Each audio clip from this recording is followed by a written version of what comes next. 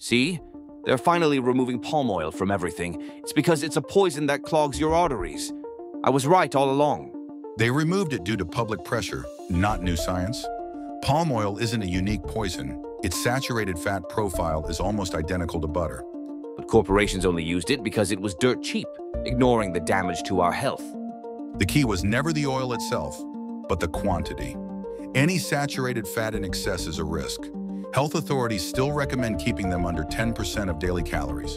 And what about the environmental catastrophe they caused? The deforestation, the orangutans, all for cheap snacks. That's a serious issue of sustainable farming, not the oil's chemistry. And here's the real shocker. Palmitic acid, the main fat in palm oil, is a crucial component of human breast milk. Breast milk, so wasn't the ultimate evil after all. So, was the war on palm oil justified? What should we debate next? Let us know in the comments and subscribe for more videos.